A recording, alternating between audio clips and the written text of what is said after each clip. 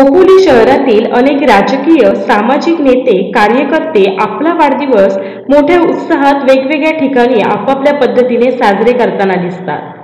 परंतु भारतीय जनता पक्षाच्या खोपोली शहर महिला मोर्चा अध्यक्षा रसिका शेटये यांनी आपला वाढदिवस दिव्यांगण मुलांसोबत साजरा केल्याने त्यांचे विविध भागातून कौतुक होताना दिसून येत आहे.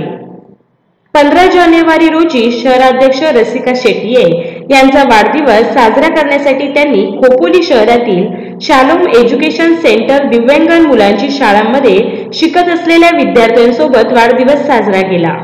यावेळी त्यांनी शिकत असलेल्या विद्यार्थ्यांना खाऊ वाटप करत त्यांच्यासोबत आपला आनंदमय वेळ घालविला.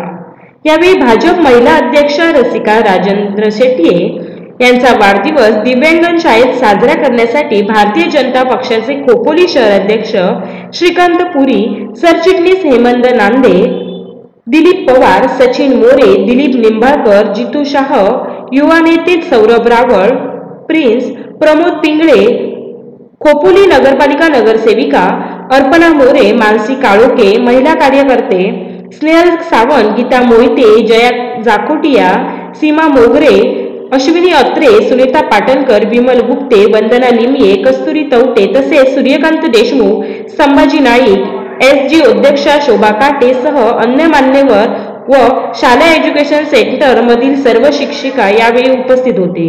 सदरील वेळी उपस्थित मान्यवरांनी रसिका शेट्ये यांना वाढदिवसाच्या शुभेच्छा दिल्या. कोकण लाईव्हसाठी तय्यब खान खोपोली